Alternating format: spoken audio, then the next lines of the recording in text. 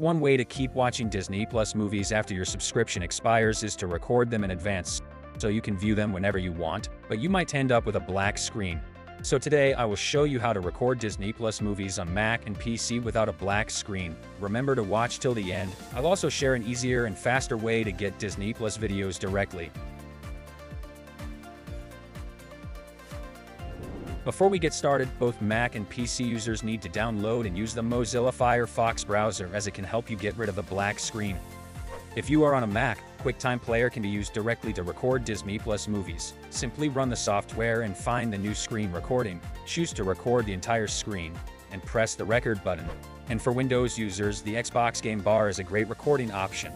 Just press the Windows key and G to run it, then go to the Disney Plus video you want to record and click the record button. You can give it a go, but just a heads up that QuickTime Player can't capture sound and Xbox Game Bar recordings are easily interrupted. So why don't you just download it directly? MovPilot Disney Plus Video Downloader is the dedicated downloader for Disney Plus. It helps you get Disney content directly to your PC in high-quality MP4 or other common formats. Now let's see how this simple method works. To get started, run the MovPilot Disney Plus Video Downloader. Log into your Disney Plus account. Here, you can either search for the movie name or directly copy and paste its link into the search bar. Once you've got the result, go ahead and set the output parameters as high quality and MP4 format, as well as keeping the original subtitles and audio tracks.